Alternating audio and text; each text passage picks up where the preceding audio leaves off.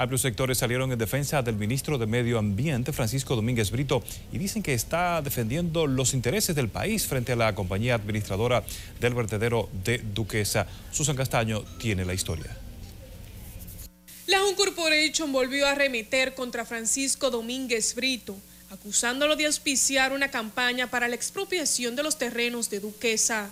El presidente de la Comisión de Recuperación de Terrenos del Consejo Estatal del Azúcar planteó que no hay necesidad de expropiar a la Jun de esos terrenos porque sencillamente no son suyos.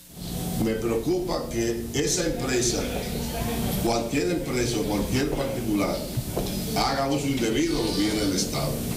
Como ciudadano, como funcionario, como todo, me preocupa. Y creo que el Estado tiene que recuperar todo lo que se ha enajenado indebidamente mientras que el director de programas especiales de la presidencia aseguró que este conflicto no es solo del interés del ministro de Medio Ambiente, sino del riesgo sanitario de la población por el mal manejo de los residuos sólidos. Este es un tema de la República Dominicana. Ningún país puede exponer por el interés mercurial y particular de una empresa a sus ciudadanos a ser enfermados para que una empresa se gane X o Y dinero. Si ellos no entendían cómo opera el, negocio, la gestión de los residuos, donde la salud y el medio ambiente son la prioridad en la operación del manejo de los residuos.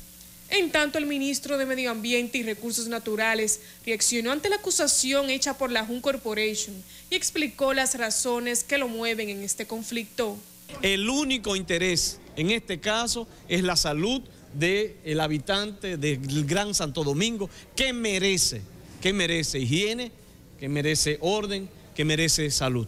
Durante el fin de semana se registraron inconvenientes con el vertido de los desechos sólidos en Duquesa, donde las autoridades municipales tuvieron que intervenir con equipos para regularizar la situación.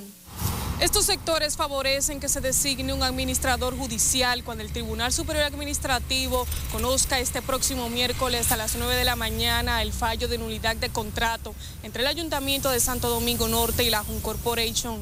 Susan Castaño, NCDN.